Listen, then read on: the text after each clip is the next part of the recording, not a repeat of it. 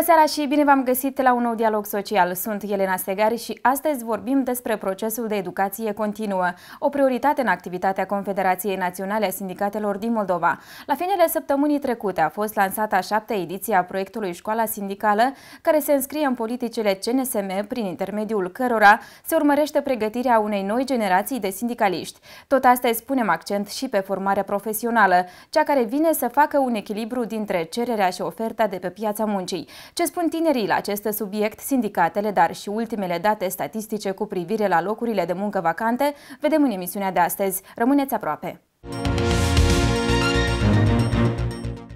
Cunoștințe necesare pentru a contribui la soluționarea problemelor social-economice de la întreprinderile unde activează salariații în activitățile sindicaliste cotidiene, dar și în viața personală. Astea sunt câteva dintre beneficiile proiectului Școala Sindicală, inițiată de CNSM, ajuns în acest an la ediția cu numărul 7. 34 de tineri sindicaliști au intrat în competiție pentru a deveni cei mai buni în domeniu și a contribui la intensificarea mișcării sindicale. Vedem în continuare un subiect de la evenimentul de lansare, de unde aflăm care au fost tematicile abordate în cadrul primei sesiuni, dar și ce așteptări au participanții.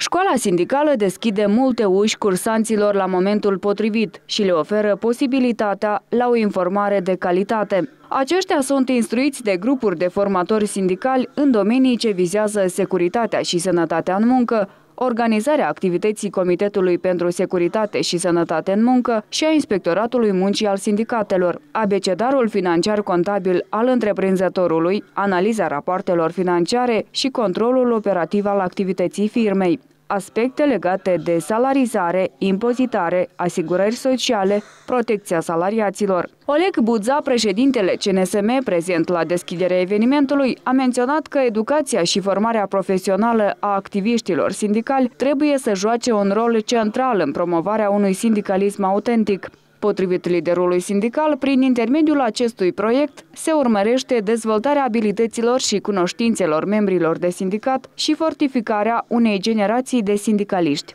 După Congresul 4 al uh, ITUC, uh, Organizația Internațională a Sindicatelor, Lozinco a fost consolidarea eforturilor muncitorilor pentru a ajunge și la salarizarea bună, și la condițiile de muncă, și la educație bună.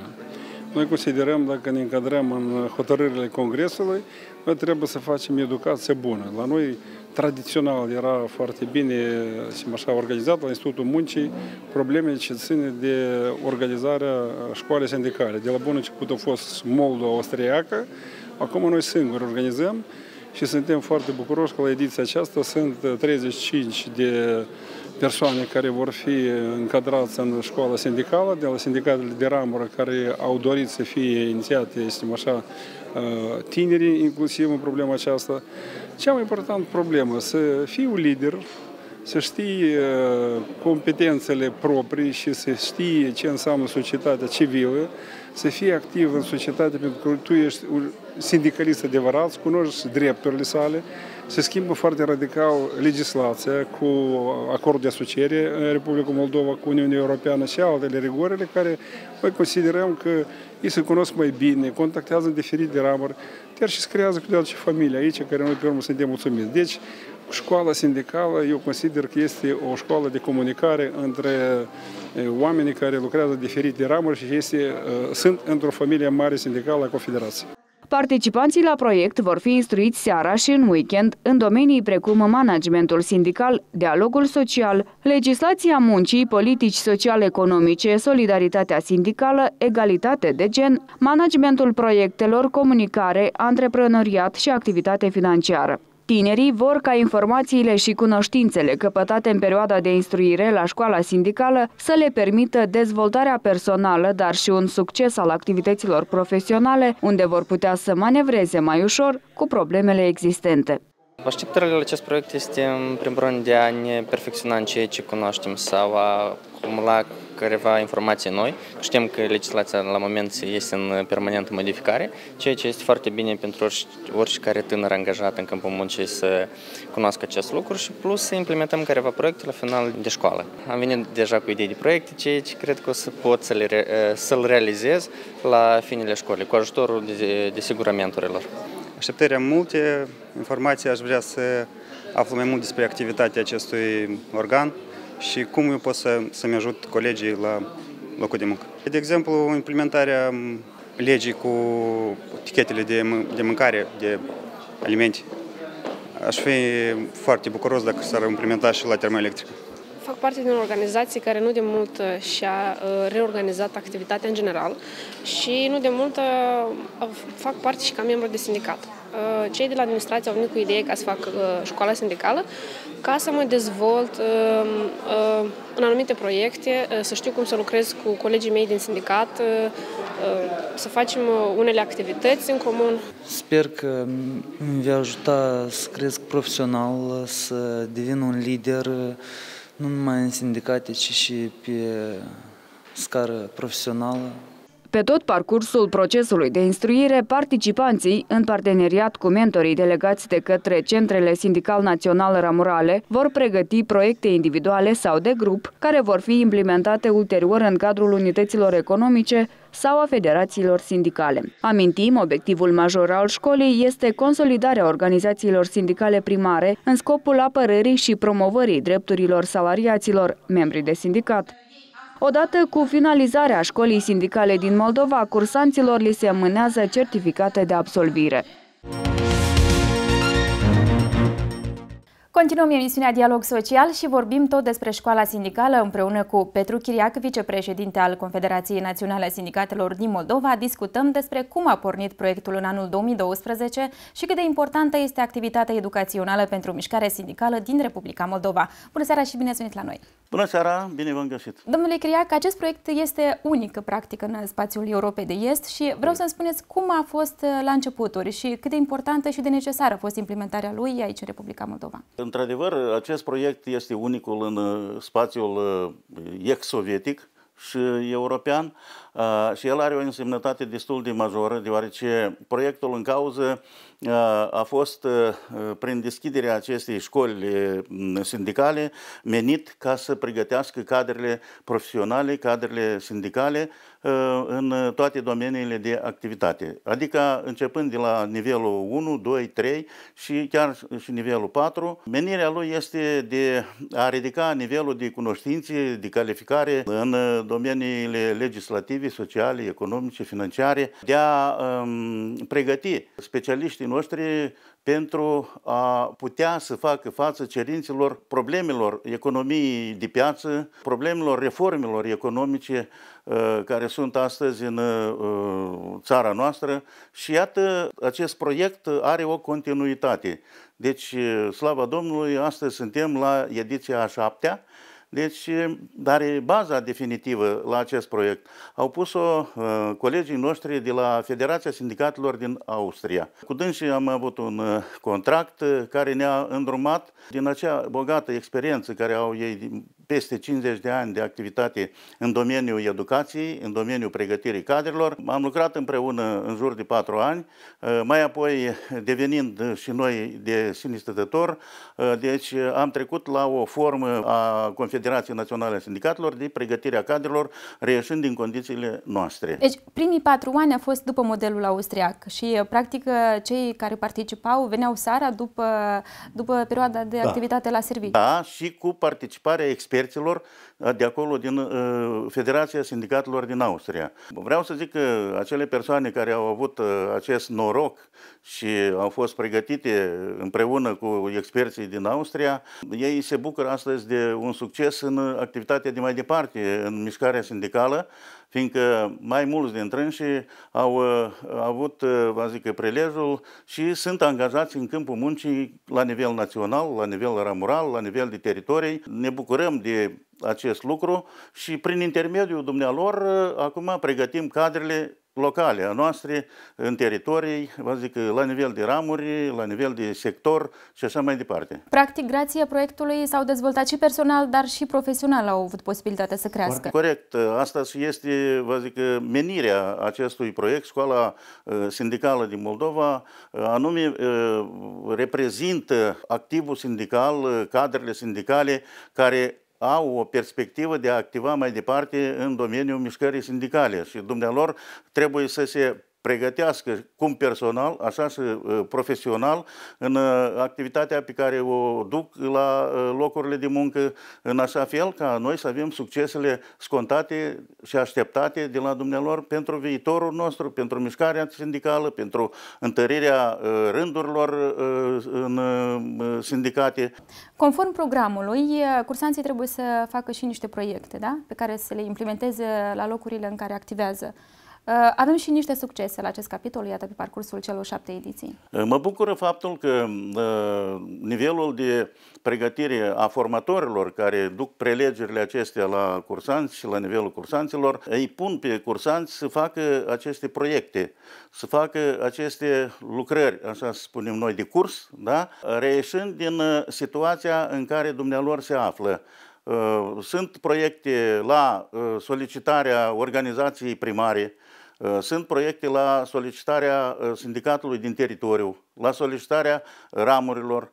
Deci uh, acest lucru vorbește despre faptul că deja cursanții noștri acumulează un bagaj de cunoștințe da, și pot să arate nivelul lor de pregătire la finalul sesiunilor care uh, au loc pe ani, trei sesiuni, patru sesiuni, va să zică, și acest lucru vreau să spun că e destul de binevenit uh, și uh, practica ne arată că trebuie să continuăm în continuitate relațiile cu acești cursanți, fiindcă a face un proiect, el trebuie și implementat. Și mai departe, trebuie și controlat cum s-a implementat, cum se, cum se implementează acest proiect. Și mulțumim că avem uh, uh, succese din partea la, la mulți cursanți, în multe ramuri, în multe centre sindicale naționale ramurale, care uh, au succese și uh, duc mai departe lucruri în acest domeniu. Cumva proiectele implementate sunt legate de problemele salariaților uh, dintr-un, uh, dintr-o întreprindere sau alta? Da, uh, în primul rând uh,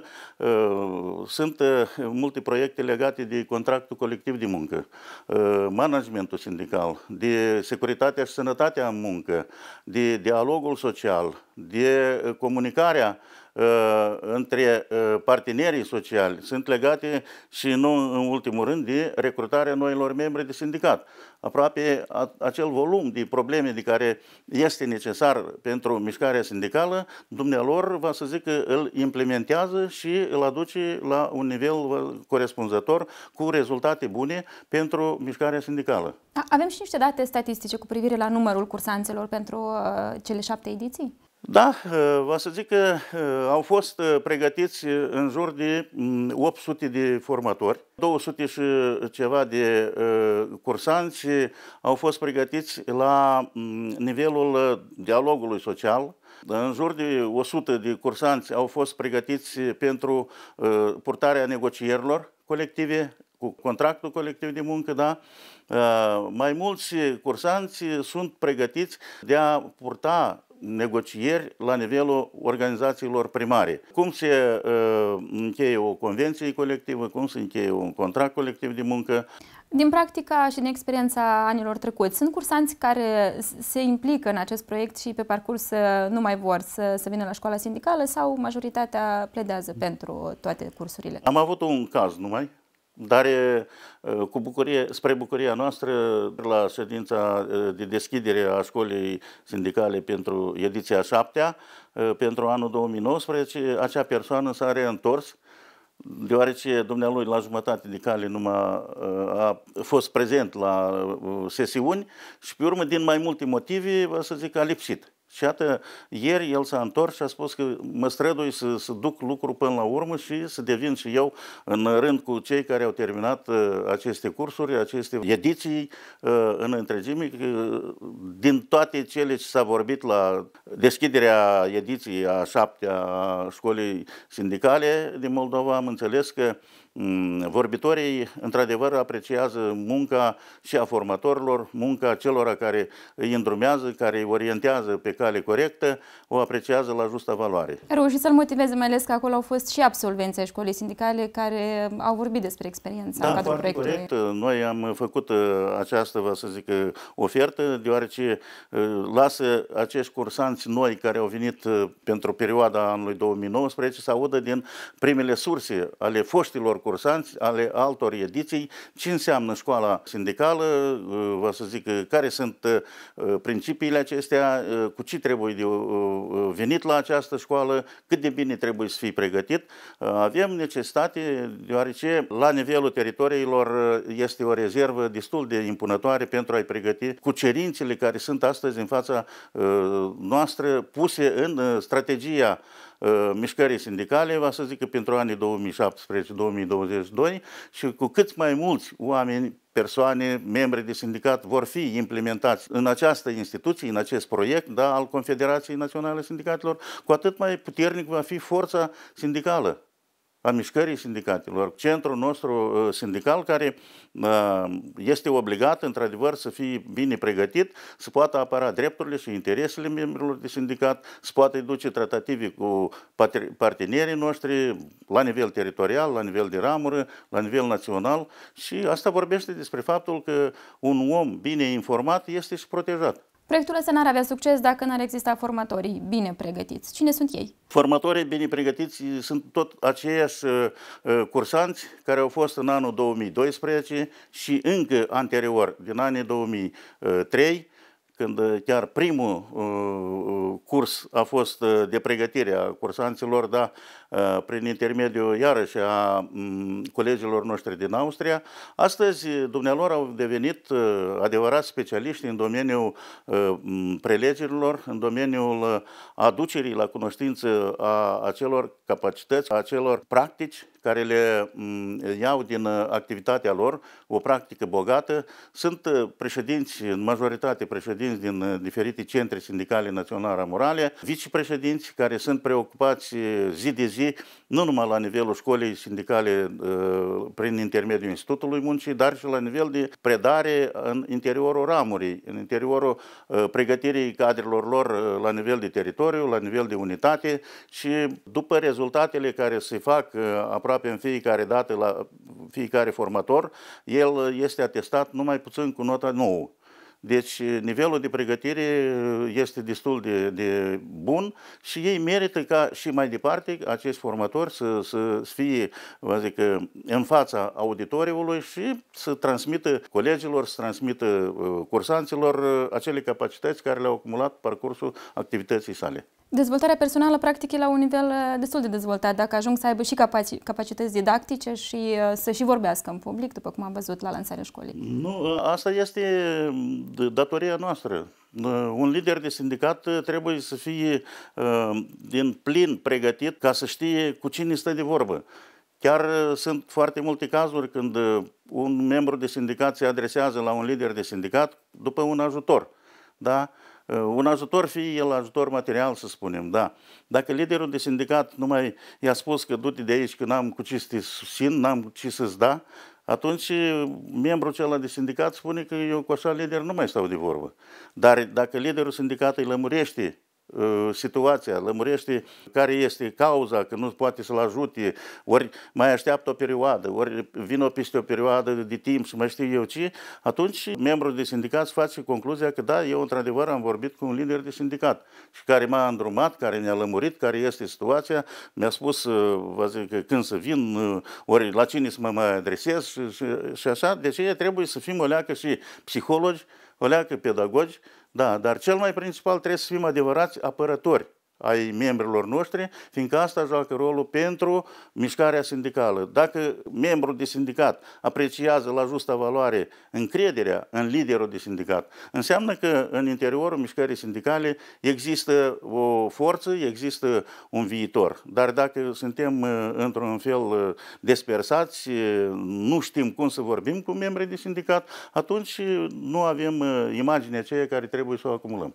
Am înțeles. Vreau să ne spuneți cine poate participa la acest proiect, atât pentru edițiile ulterioare, că în acest an avem 34 de cursanți, dar pentru edițiile ulterioare. Există niște condiții? În primul rând, noi dacă am avea mai multe surse financiare prin acest proiect, noi am vrea să, să atragem și 100 de persoane.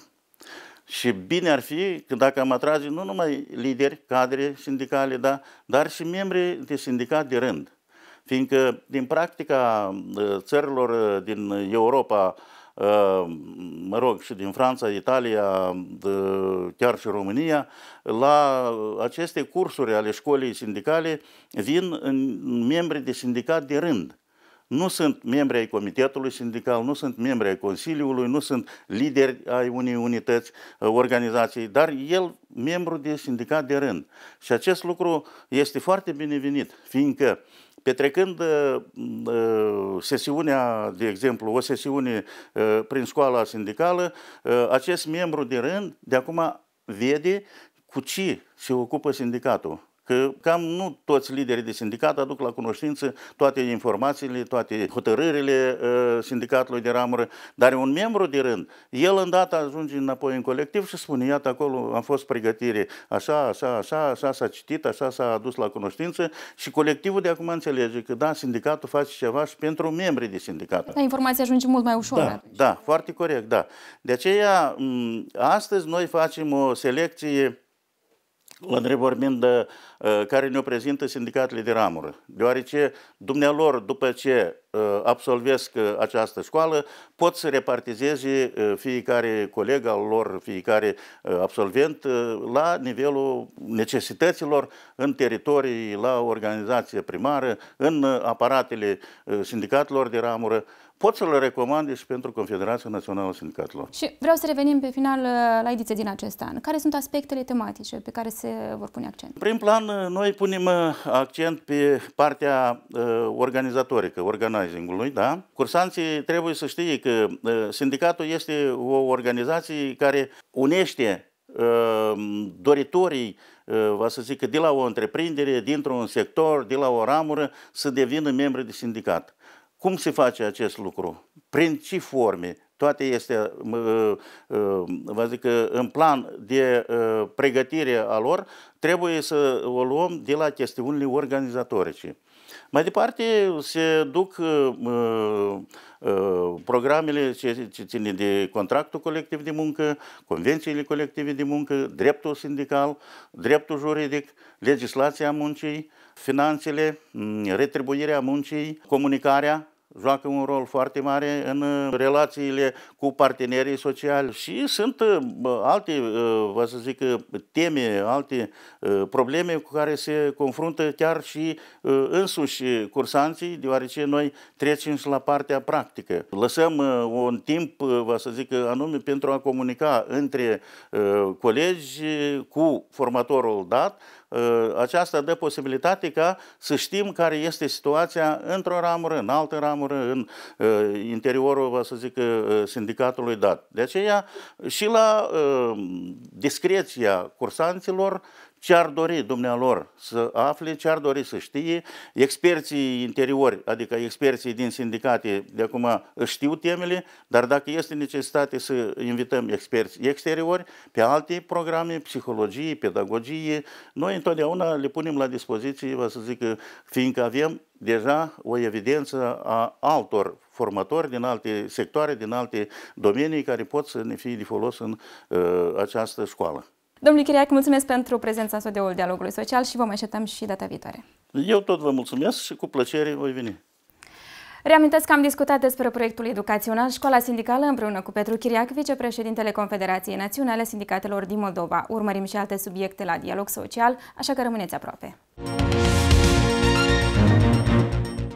De la instruiri care pregătesc specialiști în sfera sindicală, trecem la educație, cea care poate genera buni specialiști pe piața muncii. Vorbim despre orientarea profesională, cea care poate direcționa pașii tinerilor spre profesia potrivită capacităților pe care le dețin. În lipsa acestui proces asistăm la o incompatibilitate sporită dintre angajat și profesie, ceea ce duce inevitabil la o creștere a ratei șomajului. Pe de altă parte, numeroase locuri de muncă rămân în așteptarea specialiștilor. Ce spun tinerii despre necesitatea și rolul orientării în carieră, dar care este și rolul sindicatelor în acest sens, aflăm din materialul următor. O etapă premergătoare procesului de căutare a unui loc de muncă este orientarea în carieră. Absența ei generează surplus de specialiști în unele domenii, iar în altele, lipsa forței de muncă se face simțită. Orientarea în carieră le oferă tinerilor oportunitatea de a lua o decizie informată și rațională privind viitorul profesional, în cazul în care tinerii din Moldova fac alegerea deseori bazându-se pe popularitatea universităților și facultăților, iar șomajul oricum există, orientarea în carieră este mai mult decât utilă. Crearea unor facilități pentru ca tinerii să se informeze corect despre profesia care urmează să o îmbrățișeze este una din sarcinile atât a Guvernului, Ministerului, cât și a sindicatelor. Cunosc că există și trei centre de formare, ca Hul, Soroca, Chișinău, la care se oferă aceste servicii și desigur că ar fi fi cazul ca și noi, cei care suntem în teritorii, liderii sindicali, să orientăm uh, tineretul spre aceste centre care sunt uh, dotate cu echipament performant, dar desigur că trei centre este cam puțin. De aceea, uh, dacă este vorba de noțiunea de sindicalizare, deci prin atragerea tinerilor în organizațiile de tineret, de exemplu, la facultăți, la colegii, prin familiarizarea lor cu drepturile lor sindicale și cu contractele de muncă anul ăsta, anul contractului, și cel individual, și cel colectiv, și prin, prin aceasta să-i orientăm și spre o profesie și spre posibilitățile care sunt. Cât de mult conștientizează tinerii necesitatea acestei etape în viața lor, ne-am propus să aflăm provocându-i la discuții. Ghidarea în carieră este foarte importantă pentru noi, ne ajută să salvăm timp, să, nu știu, să ne formulăm gândurile și mai repede ne face să, să ne creăm strategiile astea în viață. Ce se întâmplă în momentul în care alegi o profesie dacă care nu-ți place? să o schimb. Adică să acționez. Ghidarea în carieră este foarte important, fiindcă tu nu știi pe parcurs ce vrei să devii în viață și când te ghidează cineva, adică când îți dă un sfat, asta este foarte important, să te găsești tu pe tine însuși. Eu sunt la facultatea de chimie, ne apropiu de mic copil să fac acest lucru și sper pe viitor să devin un chimist foarte renumit. Consider că anume la vârsta noastră, ghidarea în carieră probabil este cel mai important aspect din viață, pentru că suntem tineri și trebuie să ne gândim la viitorul nostru și cum să-l structurăm în așa fel încât să nu ne facem griji mai apoi. Când ar trebui să înceapă ghidarea în carieră? La ce vârstă? Cred că ar trebui să înceapă din familie, încă copilul când se află chiar în vârsta preșcolară, ă, să-i se să experimenteze mai multe activități și să înțeleagă abilitățile sale, aptitudinile. Unii oameni ajung la facultate fără să știe ce vor de la viață și se orientează anume în anii de facultate și uneori se orientează greșit, anume din cauza că i-au întârziat până la facultate, deoarece de mic copil părinții ar trebui să pună accent pe, ce, pe abilitățile pe care le are copilul lor pentru a-i putea crea um, un viitor ori pentru ca copilul să aleagă singur direcția sa de viitor, nu știu. Ce se întâmplă cu un tânăr care alege o profesie greșită? Ce urmează să facă în concepția ta?